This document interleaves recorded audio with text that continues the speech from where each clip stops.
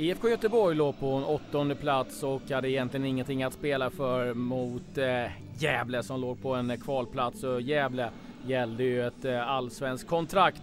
Man jagade den här kvalplatsen. 6731 hade tagit sig till eh, Gamla Ullevi för att eh, se den här fighten då mellan de här två lagen och eh, givetvis en hel del anspänning hos eh, gästerna. Men man började riktigt bra. Redan i första minuten så får Micke Dahlberg lite yta, avancera framåt och eh, stressa iväg det där avslutet lite grann. Dahlberg tar ett eh, vänsterskott, kunde avancerat lite längre men valde den här gången ett eh, skott istället.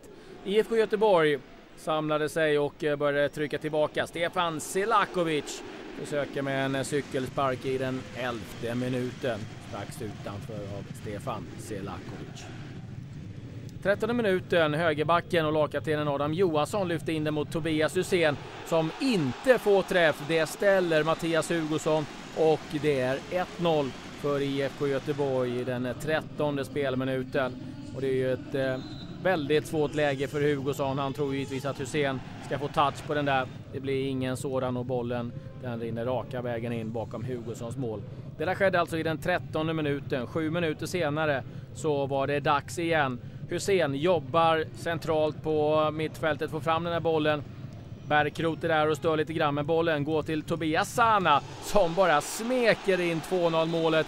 Hugosson förtvivlad. Ingen som sätter press på Sana som gör sitt första allsvenska mål den här säsongen. Då blir man givetvis sådär glad så man springer ut och kramar om Stefan Rehn. Och eh, ja, det är ju ett sagolikt vackert mål. Hussein tror inte sina ögon. Det där sker alltså i den 20 minuten och nu såg det väldigt mörkt ut för eh, Gävle som eh, alltså jagade en eh, kvalplats. Bernhardsson lyfter in bollen. Orlov är det som får chansen, men det går inte riktigt för Gävle i det här läget. Marcus Sandberg, målvakten, klarar sig den här gången. Micke Dahlberg tappar bollen centralt. Lyft mot eh, Hussein. Hussein misslyckas lite grann med mottagningen. Men eh, avslutet sen av Bärkroth. Inte särskilt lyckosamt. Ett eh, bra läge för IFK Göteborg att göra 3-0 men istället så är det faktiskt så att Gävle får kontakt.